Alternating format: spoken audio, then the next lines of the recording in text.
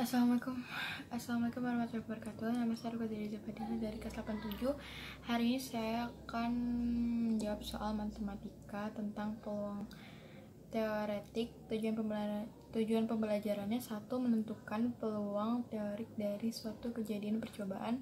Dua, menentukan komplement dari suatu kejadian percobaan.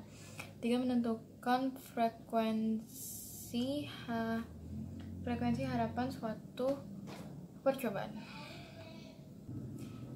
Suatu kantong berisi dua kelereng merah, tiga kelereng putih, dan lima kelereng biru. Kemudian diambil sebuah kelereng dari kantong itu. A. Tentukan peluang terambil kelereng merah. Kelereng merah. B. Tentukan peluang terambil kelereng putih. C. Tentukan peluang terambil kelereng kelereng bukan biru atau biru komplement. Ruang sampel sama dengan 2 merah, 3 putih, 5 biru. SA dikurang 2 tambah 3 tambah 5 sama dengan 10. A. P merah sama dengan N merah per SA sama dengan 2 per 10 hasilnya 1 per 5. B. P putih sama dengan N putih atau SA sama dengan 3 per 10. C. P bukan biru sama dengan N merah tambah N putih per SA sama dengan 2 tambah 3 per 10 sama dengan 5 per 10 hasilnya 1 per 2 sekian dari saya. Wassalamualaikum warahmatullahi wabarakatuh. Assalamualaikum warahmatullahi wabarakatuh. Nama saya Rika Zari Zubadila di kelas 87 Hari ini saya akan menjawab soal matematika tentang peluang empirik. Tujuan pembelajaran satu memahami pengertian peluang suatu kejadian dari suatu percobaan. Dua menentukan ruang sampel dari suatu percobaan. Tiga menentukan titik sampel yang memenuhi suatu kejadian dari suatu percobaan.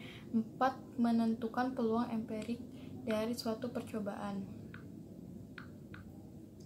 pada percobaan pelemparan satu koin logam, sisi angka dan gambar sebanyak 100 kali muncul sisi angka sebanyak 45 kali. Tentukan A peluang empirik muncul sisi angka, B peluang empirik muncul sisi gambar.